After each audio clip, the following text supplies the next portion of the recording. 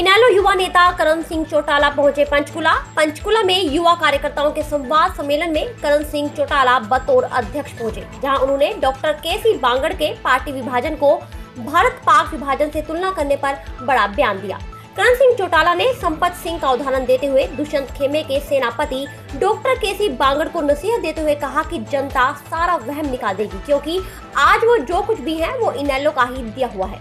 केसी केसी बांगड़ जी तो वो इंसान है जिनको इस पार्टी ने ही ये अहदा दिया था जहाँ पे आज इस मुकाम पे वो बैठे हैं। और वो इस बात को क्यों भूल गए कि इस पार्टी में जिस इस पार्टी के साथ गद्दारी की है, उसका हशर बहुत बुरा हुआ है। जनता ने ही उसका हशर बुरा किया है। सबसे बड़ा उदाहरण अगर आपको दूँ तो संपत सिंह जी भी एक टाइम पे पार्टी को छोड़ के गए थे, जब पार्टी में एक बहुत बड़ी उनके ऊपर जिम्मेवारी थी।